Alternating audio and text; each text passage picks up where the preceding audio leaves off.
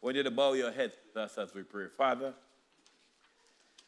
the hour has come that I must stand between you and your people.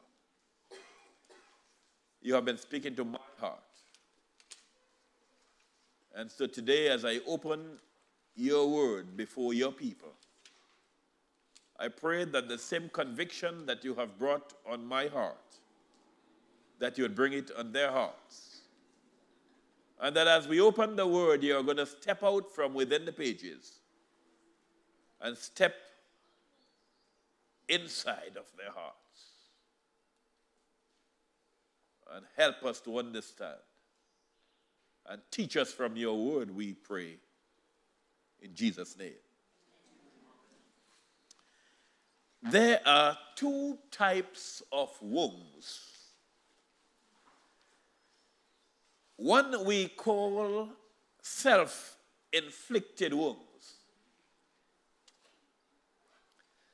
Wounds that one may have inflicted upon himself or herself as a result of his or her actions. Secondly, we have wounds caused by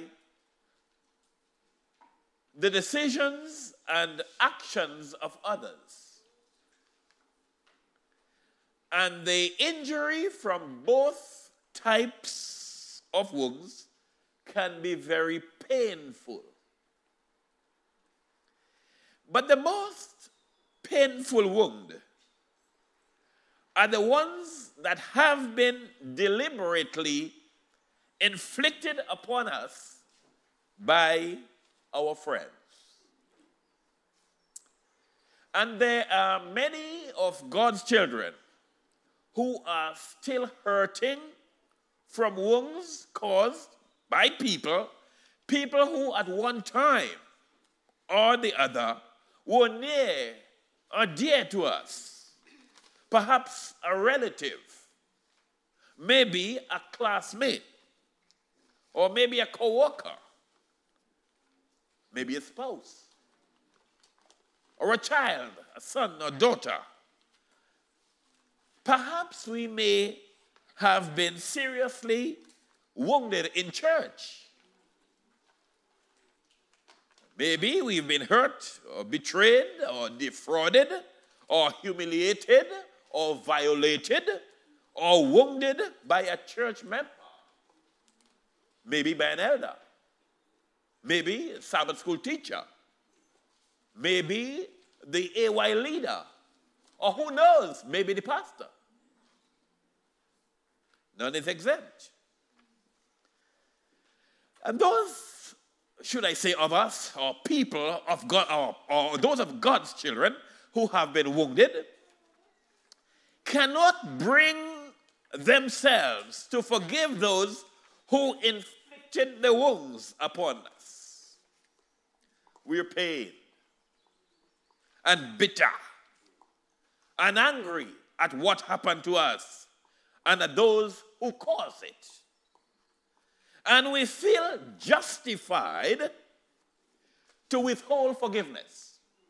I could never forgive her, or I could never forgive him. But I want to say today, church, saints of God, as painful as our wounds may be, there is another wound that is even worse. and that is the wound we inflict upon ourselves by the decision not to forgive the person who may have wronged us. That's the greatest wound. Maybe we can call this sin, and notice I say sin. Maybe we can call the sin of not willing to forgive suicidal wounds. Suicidal wounds.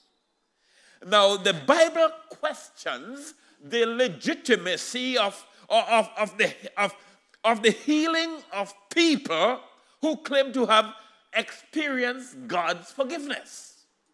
And yet, we still cherish an unforgiving spirit towards those who wound us or, or wound us.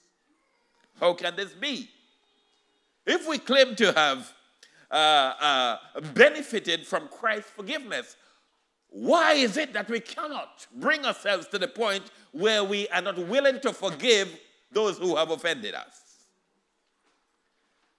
Listen to me, brethren. If someone has hurt you, listen to me very carefully here. If someone has hurt you and you are still struggling to forgive that somebody, it means that the wound is still open. It is not healed. It is still bleeding. You see, healed wounds do not bleed. They don't bleed. Listen very carefully what I'm going to say to us this, today. To forgive or not to forgive are choices that we must make. To decide, not to decide, is a decision. If you read through the Bible, you would discover that the word forgiveness is a legal term used 143 times in the New Testament. It means to release a person from an obligation. When used in a financial context, it carries the idea of canceling a debt. Forgiveness always involves a choice. Unforgiveness is also a choice. As such, it has consequences. May I say to us today, you know, everybody in this church, uh, you know, they told me before, never say everybody, but let me change this. Almost everybody in this church is worried about coming down with cancer. Whether you are a meat eater, whether you are vegetarian, whatever you are, cancer seems to be killing everybody these days. But let me say this to you Unforgiveness is as dangerous as cancer. It eats us from the inside. Have you ever, am I talking anything strange here? Have you ever found yourself in a situation where someone has hurt you and you have not yet brought yourself to the point where you can say, hey, listen, man, let's make up this together. Let's put this behind the back. You know how you feel every time you see that person? Sometimes if you stand in front of the door and you're greeting people and this person's coming in, he or she takes a different route. It eats us away from the inside. It deprives us of a peace of mind.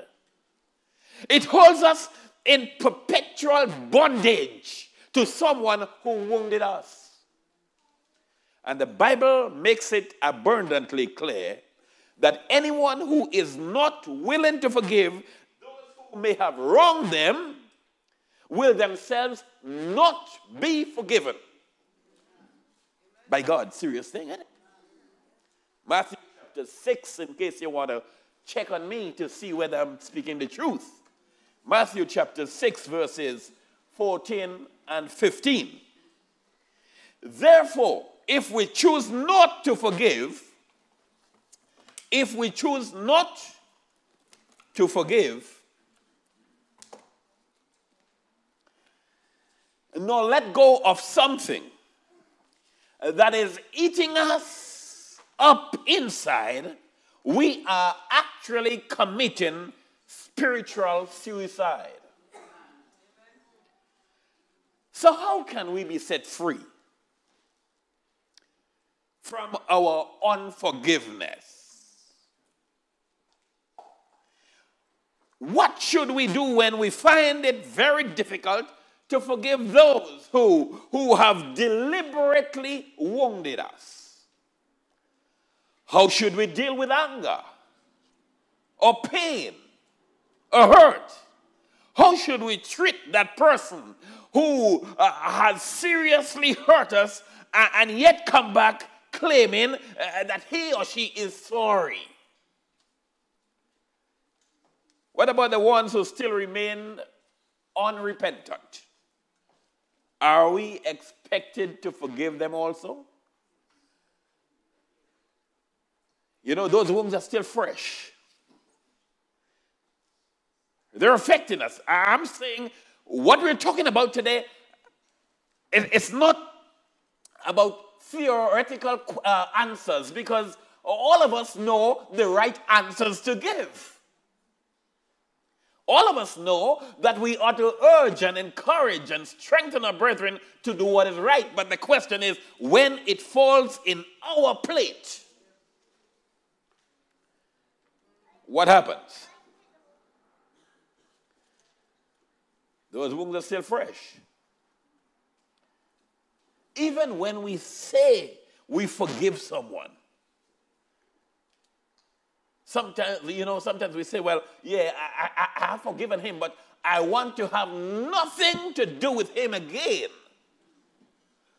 I wonder how it would sound to us if we get on our knees and we confess our sin and we say, Lord, you know, I have offended Sister Guthrie and, I, I, I, um, you know, please give me the, the power and the strength to go to her and say, Sister Linda, listen, I, am very sorry. But Lord, you know, I, want to have nothing to do with her again because she has hurt me so badly. How would we feel if after we get up from our knees, the Lord says, I have heard your voice, I have heard your prayer, and I want you to know that I have forgiven you but I want to have nothing to do with you to do again.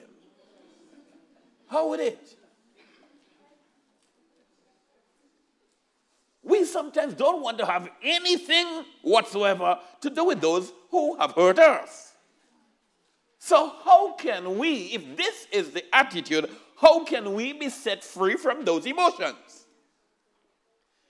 You know, saints of God, we ought to pray and ask God to give us the power and the strength to let go of the hurt and let go of the bitterness so that we can enjoy the joy of reconciliation and peace. Have you ever found yourself in a situation where you had to genuinely go to someone and say, Listen, let's put this behind my back? Uh, can't you remember the, the spring you had in your steps when that was done? It was something that you were struggling for the longest while, you, with for the longest while. You didn't know how the person would respond, but you got a good reception, and now this thing is behind you, and you're walking out there as though some burden has been rolled off your shoulders. So, why must we let go of the hurt and the, and, and, and, and the bitterness? The Bible says we must forget, we must forgive and forget. And I'm going to touch on that just now. You know, the answer to these questions involve a very painful choice. A very painful choice. But it is a choice that sets us free and secures our own forgiveness when we forgive others. And the Bible offers us several reasons why we should forgive those who may have wronged us. But I want to concentrate on what I consider to be the most compelling reason why we ought to forgive those who have wronged us, those who have hurt us. And that reason is we must forgive and forget for Christ's sake. For Christ's sake. In fact, whatever we do as a Christian must be motivated for, by, for Christ's sake. The way I treat uh, Sister Paul and the way I treat you is not because you're a rich person, you have a nice house and plenty of money, and you have status. I must not treat you that way uh, uh because of what you have. I must treat you a certain way because you are a child of God. You know, sometimes we know the poor ones in a congregation. We don't even spend time to have a conversation with them. They can't offer us anything. Anybody see us talking with them, they would think nothing. but we want to be among those who have status. The bright ones, the rich ones, the high and the mighty. This is sin. It is sin. We treat people the way we treat them because every child, every daughter is a child of God. So we must forgive for Christ's sake. And whatever we do must be motivated by Christ. And so, one of the reasons why Seventh Adventists in certain parts of the world is so cold is because we treat people a certain way based on their status.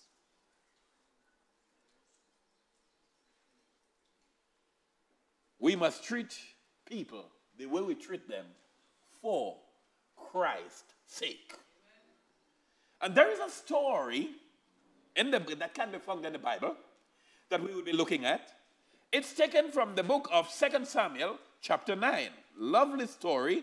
Uh, maybe some of you may have skipped over it several times, but we will be looking a little bit on that today as we make the point. 2 Samuel, chapter 9. And I would like to look at that. I want you to turn in your Bibles. So, 2 Samuel, chapter 9, begins with a frantic question from King David. David has now become king. Saul is dead. Jonathan is dead. And David begins chapter 9. Notice what it says here. Is there yet any that is left of the house of Saul that I may show him kindness for whose sake? Jonathan's sake. Watch that name. We're going to get back to the meaning of that name just now.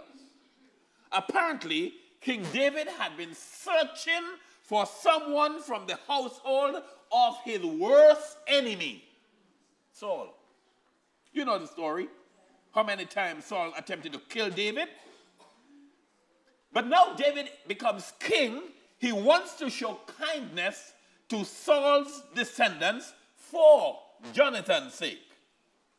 Why does David, what does, what David does not know what David does not understand is that there is only one descendant of Saul that's left. When uh, you know, every time you read that, listen, Saul's entire tribe was almost wiped out in battle.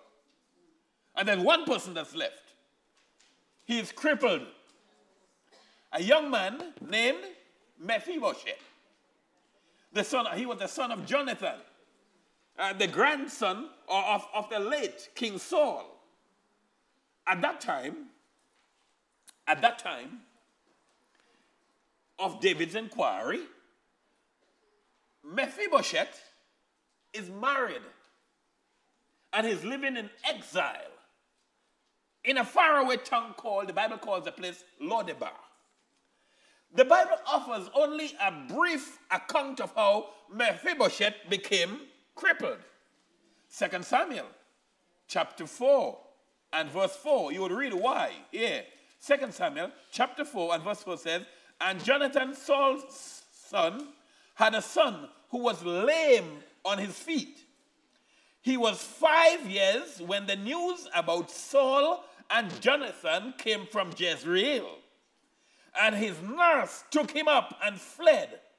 And it happened as she made haste to flee that he fell and became lame his name was Mephibosheth. So his nurse, nurse, look, I understand the drama as it unfolds here. With the sudden change in the palace, Saul is dead. Jonathan is dead. His tribe is wiped out. The nurse now takes little Mephibosheth and says, Listen, David is going to come after you. He wants this kingdom. He's going to kill you. Let me run with you. And in running, he fell from her hand, damaged his spine. So Mephibosheth is, is there now. Young boy, still five, doesn't understand fully what's happening. His father does not come home. His grandfather does not come home. And the boy begins to cry. He suddenly realizes hey, listen, there is no daddy's cuddle any longer. Grandpa is not there for me to play on his knees. And worst yet, I would never be able to walk again. I would never be able to run and jump and play like all the little children do. He longed for a cuddle from his dad, uh, Jonathan, and from his granddad, Saul. He cries himself to bed, and when he dozes off, he is suddenly awakened with nightmares. Yet no one is ready to disclose the facts to this five year old boy. No one except his royal nurse. You know, sometimes, saints of God, when we allow people to do for us what we should do for ourselves, it creates a lot of confusion. So the royal nurse says to him, and I can almost hear the royal nurse explaining to Mephibosheth, Daddy and granddad would not be coming home again because they went to fight and their enemies killed them. I can hear her whispering to Mephibosheth, You could become the next king of Israel. So listen, I have to hide you. We have to leave. We have to leave immediately to avoid you getting killed by David and his men. But Mephibosheth cannot understand why. Why David? He knew that David came to visit his father, Jonathan, on several occasions. David may, may, may, have taken little Mephibosheth in his arms. That was his friend's son, and gave him a little kiss and a pat on his head. Why David? Is not David my father's best friend? Listen, Mephibosheth, explained the royal nurse. David hates you. He wants to kill you. He wants to take the kingdom that belongs to you and your dad and your granddad. He hates you because your granddad hated him and tried to kill him. Now, David is going to seek revenge. He's going to kill you. That's why we have to leave immediately. I can imagine the nurse charging him, listen, as you grow, please don't tell anyone whom you belong to. They must not know that you are Jonathan's son. They must not know that you are attached to any royal line. No one must know while you are still alive. But one day, Mephibosheth, I want to let you know, you are going to be brought back to, to Israel. The throne will be yours again. Listen, saints, from the age of five, when that nurse ran with Mephibosheth, when she tried to brainwash him into believing that David hated him and wanted to harm him, and, uh, you know, Mephibosheth began to, to feel anger against, uh, towards David. His level of hate for David began to rise. While this was happening, on the other hand, David was looking for someone. I want you to get a picture here. Mephibosheth's mind is poisoned against David. But David is looking for someone to offer special honor on the descendants of Saul, the man who really hated him. So watch the drama. On the one hand, Mephibosheth is brainwashed and he develops hate for David. On the other hand, David is searching the land to find someone from his household, of, from the household of Saul, that he can show kindness. 2 Samuel chapter 9 and verse 1. Notice what, what the Bible says here. 2 Samuel 9 and verse 1. And David says, is there still anyone who feels who, who is left of the household of Saul that I may show him kindness for Jonathan's sake? David's inquiring. David searched for Mephibosheth, and his search took several years, but he did not give up. In fact, by the time uh, David found him, and you would find that in verse 12 of chapter 9, by the time David found Mephibosheth, Mephibosheth was a young man who had a child, a son by the name of Micah. For many years, the king is thinking, inquiring, and searching for the lost, and the crippled son of his friend. And not long afterwards, David's intelligence would tell him, listen, we have found some traces. There is a guy named Ziba, as you would read in the Bible. He is a former employee of Saul and he would help locate Jonathan's son, Mephibosheth. You would read the story in, in, in, in, in 2 Samuel chapter 9, verses 2 to 5. Lovely story to read. You can check that when you get home.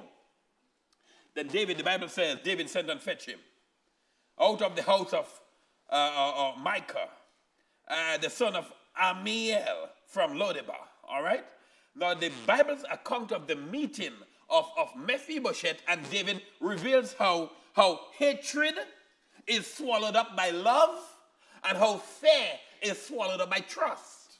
And you would read that story in 2 Samuel chapter 9, verses 6 to uh, 11. It says, When now when Mephibosheth, the son of Jonathan, uh, the son of Saul, was come to David, he fell on his face and did reverence David. And David said, Mephibosheth, and he answered, Behold thy servant. And David said unto him, Fear not, for I will surely show kindness uh, for Jonathan thy father's sake, and will restore thee all the land of Saul thy father, and thou shalt eat bread at my table. And he bowed himself and said, What is thy servant, that thou shouldest look upon such a dead dog as I am? Then the king called Ziba, Saul's servant, and said unto him, I have given unto thy master's son all that pertaineth to Saul and to all his house. Therefore, and thy son, thy servant shall till the land for him, and thou shalt bring in the fruits, that thy master's son may have food to eat. But for Mephibosheth, thy master's son, he shall always eat bread at my table. Now Ziba had 15 sons and 20 servants, the Bible says, so he had to walk the land for Mephibosheth. As for Mephibosheth, the Bible says, uh, he shall eat at my table as one of the king's sons.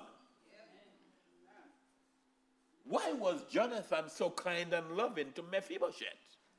Verse 7 answer the question. For Jonathan's, thy father's sake.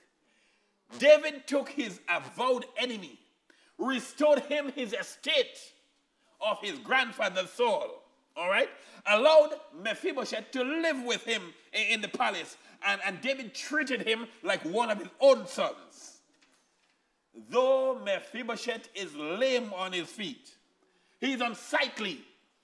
He did not seem to have any great fitness for service, yet for Jonathan's sake, David took him to be one of his own family. The account of King David's treatment to Mephibosheth teaches some important lessons. Number one, in the phrase, for Jonathan's sake, we find the most compelling motivation to forgive others. You know, the name Jonathan means gift of God. Maybe the next child somebody has here, some son, you might want to call him Jonathan. The name means gift of God. Whenever we read in the account in uh, uh, 2 Samuel 9, uh, for Jonathan's sake, it actually means for Christ's sake. In other words, if we are looking for a reason to forgive someone uh, of the ill they have, uh, we have suffered at that person's hand, the answer lies in, in what Jesus, our divine Jonathan, has done for us. Those who understand the price Christ paid on Calvary for the sins will not stubbornly withhold forgiveness from those who have hurt them. That's why the most forgiven person ought to be the most forgiven person. You know, sometimes we think that when we forgive others, it's a sign of weakness. And who wants to be perceived as an easy pushover or a doormat? Listen to me. Forgiveness is never born out of weakness. It takes a person who is strong in faith and love for God to forgive someone who has hurt him badly. Only those with resolute conviction and sterling character can truly forgive. On the other hand, as long as we choose not to forgive, we become the slaves of those who have hurt us. Forgiveness is not forgetting. All right? So forgiveness is not about weakness. Forgiveness is not about forgetting. Forgetting is to lose the remembrance or recollection of something or someone. It is a passive process in which the passing of time can cause a thing to fade away from memory. Forgiving, however, is not the result of am- amnesia. I read in Dr. Pipim, Samuel Pipim's book entitled Heal Wounds and uh, Ugly Scars. He says forgiveness is an active process in which a person makes a conscious choice not to mention, recount, or think about the injury one has suffered from another. And the Bible says in Isaiah chapter 43 and verse 25, I'm going to race towards the end in five minutes. I, I, even I, am he that blotted out thy transgression for mine own sake and will not remember thy sins. God says he's going to do it for his own sake. He does not mean that he cannot remember our sins. It means that he will not remember them. It is a conscious choice on his part to not reckon those sins against us nor take action on them. But the good news, however, is that when we make a conscious decision to forgive and to stop dwelling on the offense of the other, the Lord works a miracle in us so that the hurt we have suffered begin to lose the bite on us to the extent that the painful memories they fade away and then you remember them no more. Forgiveness is not a feeling. It is not a, fleet, a fleeting emotional experience. It is a conscious choice, an act of the will. There are two Greek words that translate forgiveness. The first one is aphiemi. It means to let go, or to release, or to remit. It is a term uh, used to describe full payment or cancellation of the debt, according to Vine's Bible Dictionary. The other word is charizomai, which means to bestow favor freely or unconditionally. The term suggests uh, that forgiveness is an act of grace. it is undeserved and cannot be earned.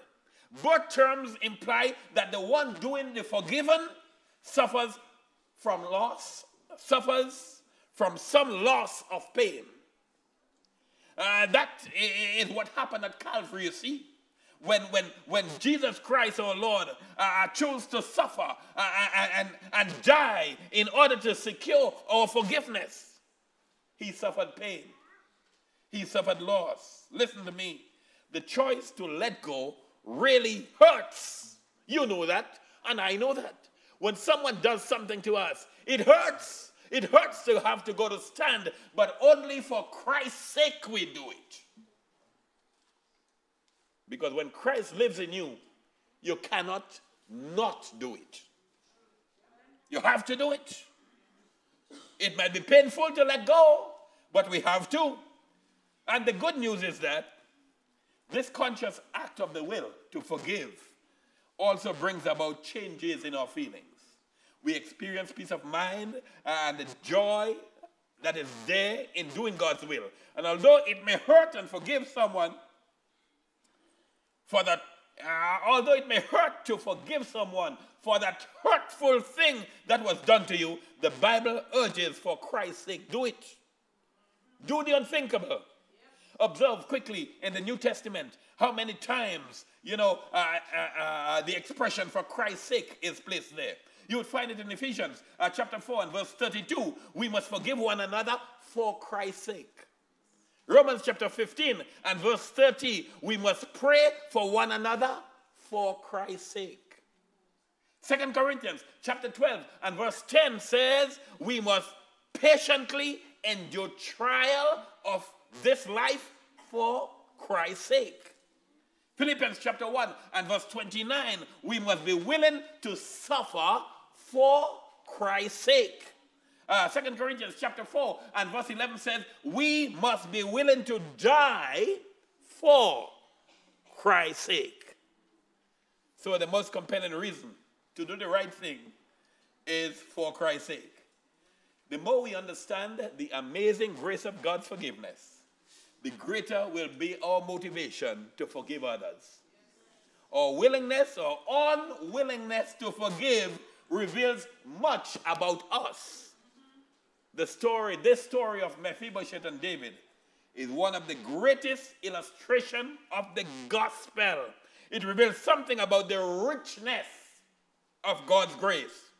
In this real story, David represents God the Father, who is King of kings and Lord of lords. David represents that.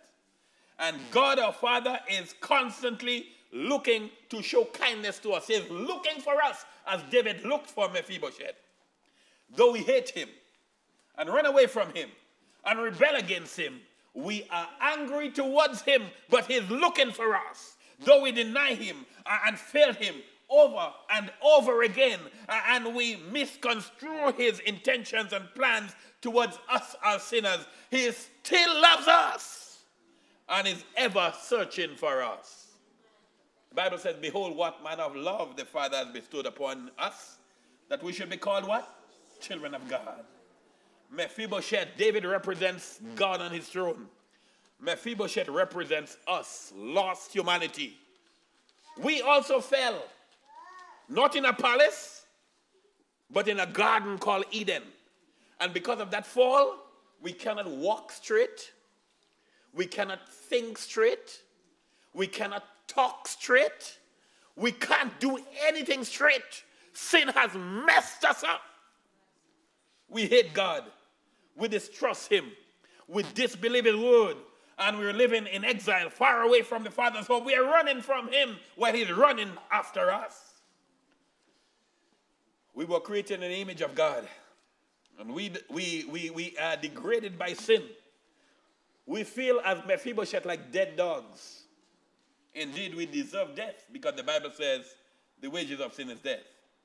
But God be praised, for the text says the gift of God is eternal life through Jesus Christ. Jonathan represents Jesus. So remember, David represents the king, God. Mephibosheth represents us, crippled, bent. Jonathan represents Jesus. The only way we Mephibosheths can be saved is for Jonathan's sake. For Christ's sake. Remember, the name Jonathan means gift of God. It is not surprising that the greatest gift of God is in giving this world, is giving humanity the Son of God, Jesus Christ. For God so loved the world, you know the text, that he gave his only begotten Son, that whosoever believeth in him should not perish, but have everlasting life. I said earlier, as we close, anytime you read the phrase, for Jonathan's sake, it really means for Christ's sake. And the only reason why God the Father shows kindness to us, pardoning us of our sins, making us his sons and daughters, is for Christ's sake. The Bible says, I write unto you little ones, little children, because, of, because your sins are forgiven you for his name's sake. If it is for Christ's sake that we, Mephibosheth, are adopted as sons and daughters of God. And it is also for Christ's sake that we have assurance of eternal life, the promise of his indwelling Holy Spirit, and the hope of living with him forever. Today, I want to just ask you, I'm going to ask you for a commitment.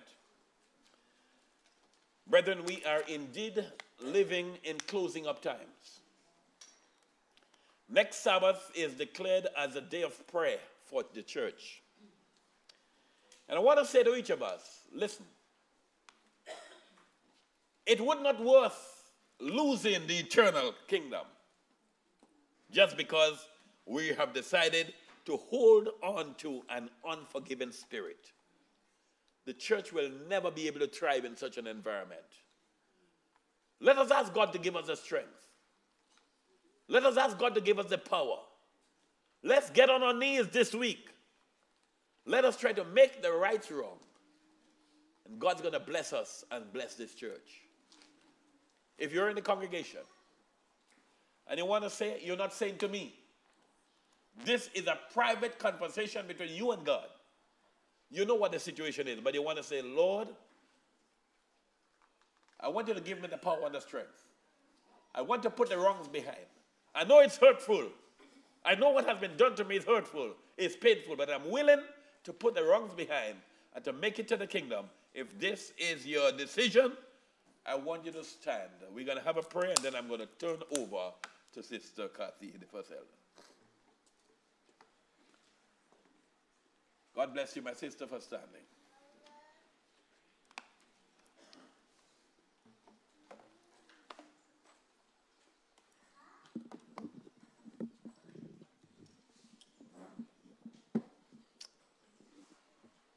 Shall we bow heads? Father, I have discharged the duties that you have laid on my heart.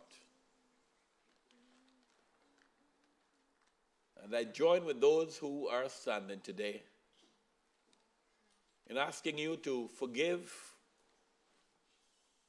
forgive us, forgive me, and forgive my brethren for the sins that we may have committed against you by not willing to forgive those who may have wronged us. You know our private life, Lord. There's nothing we can hide from you. But people have stood today people have stood there and they want to say, Lord, I just thank you for your goodness and mercy. And I just thank you for what you have done for me. And based on what you have done for me, for Christ's sake, I am willing to forgive others. So please accept our decision today. And for those who may not have seen it fit to make that decision, I lift them up before you as well. Please be with them and bless them and continue to plead through the voice of your Holy Spirit to our hearts. For this is a prayer in Jesus' name.